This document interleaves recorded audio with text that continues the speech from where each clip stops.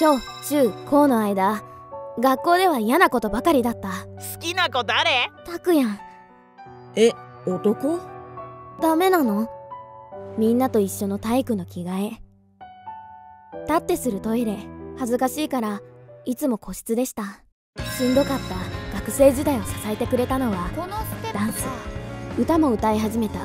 歌手への転身は実を結びビジュアル系男性歌手ケイタとしてデビューが決まっ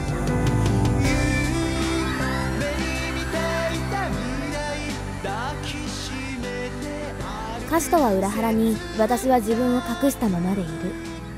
このまま自分を信じてくれる人たちを欺くことはできない。